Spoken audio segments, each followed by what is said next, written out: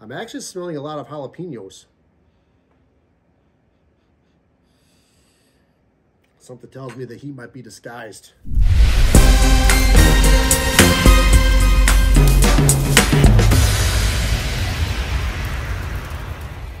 I'm Sauce Junkie Tim, and today's show is going to be another sauce review from High Desert Sauce Company.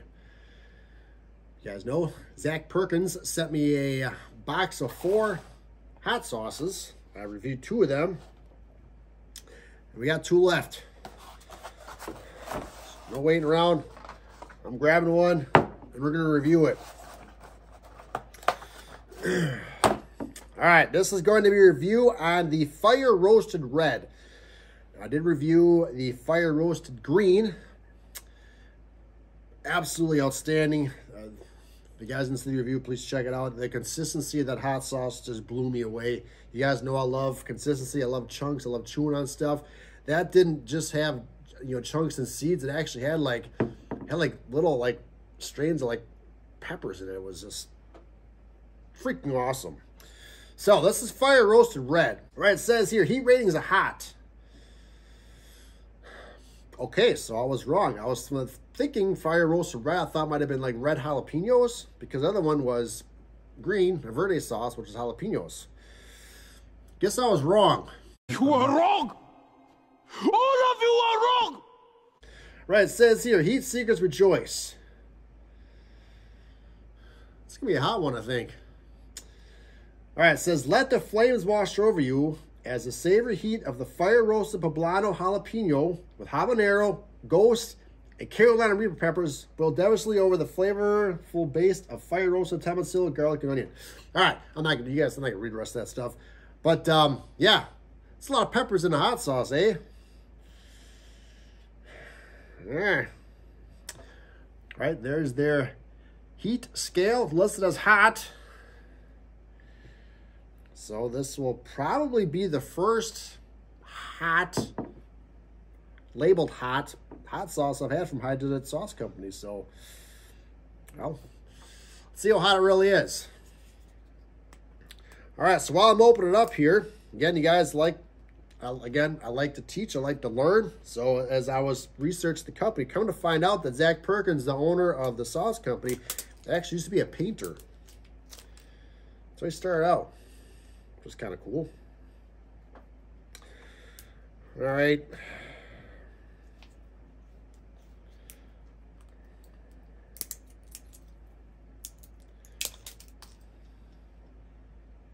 Shame on you. Hey, when that happens. All right, let's shake it up again here, guys. I did have a perforated seal, but uh, didn't work in my favor. But regardless, we got the seal off. All right, so it says roasted red. Now, it's the color is very similar to the color of my table. It's got a brown color, a lot of seeds. I love the looks of that. A lot of speckles. Let's check out that aroma.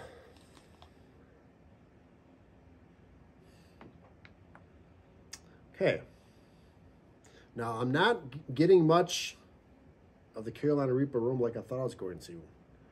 Now, for me, with my senses, if, there, if it's a Carolina Reaper product, for some reason, it's just me, the Carolina Reaper just overpowers everything.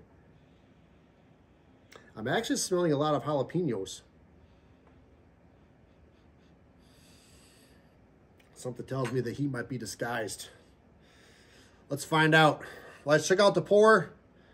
Again, like every sauce I've had from High Desert Sauce Company, the consistency is just absolutely dynamite. Look at that pour. That's just it's perfect. I mean, sometimes a consistency is so thick that I'm wrapping the bottle against the spoon, or else it starts out really slow and then it dumps and I make a mess. This just poured out perfectly. Yeah, I'm I'm smelling I'm smelling jalapenos and salt, maybe a little garlic. Let's see how hot this is. I'm Hot Sauce Junkie Tim. Let's do this.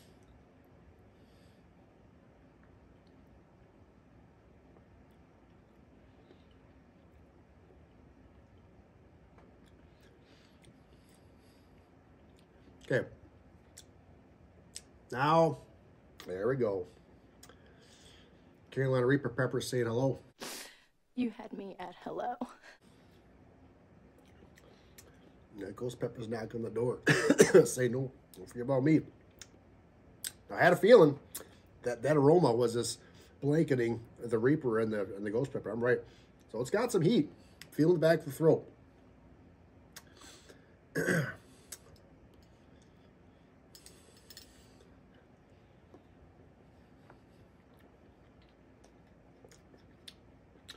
it's warm. Let's give it a minute for my heat scale. Let's check out these ingredients. First ingredient is peppers. Seems to be the common denominator with High Desert sauce companies. Listen, peppers is number one. That's a good thing. First ingredient is always the dominant one, right? Like I said, poblano, jalapeno, habanero ghost, Carolina Reaper. Vinegar, tomato, onion, garlic, kosher salt, peppercorns. Okay, like I said, salt, garlic, jalapeno aroma, the Reaper bird. But it's not crazy hot. That's me. I'm not normal. I'm not average when it comes to heat. I'm on a different level from the average people. Average person, I should say. But heat scale for me, I'm going to give this a very, very low three. now, strangely enough, like I said, I felt the burn in the back of my throat, right? Now let's move on to my tongue. Good burn, good decent burn. Average person, you may be looking at a five, a high five, but it's good. It's not crazy. I don't know, maybe my heat skills, maybe my tolerance higher than I thought. Um, but I don't think it's that hot at all. But what's the most important thing? It's the flavor, right? The flavor is dynamite. The flavor is outstanding. The flavor is delicious. All right, it says here, dial up the heat and flavor of your breakfast, lunch, or dinner with fire. Roast to red. So they're saying that this hot sauce is very universal. You can use it from anything, from any breakfast food item, lunch item, dinner item. I absolutely agree. Um, guys, I, I can't really pinpoint a certain food item that I would put this on because you want to know why? I'd put this shit on anything. I put that on everything. Where'd that saying come from, huh? Got High Desert Sauce Company. Again, Zack, you nailed yet another hot sauce. I'm telling you, man, your consistency is probably you're ranked up there in my top when it comes to consistency. This I just love. Look at that. That's just beautiful. I don't like that water runny crap, guys.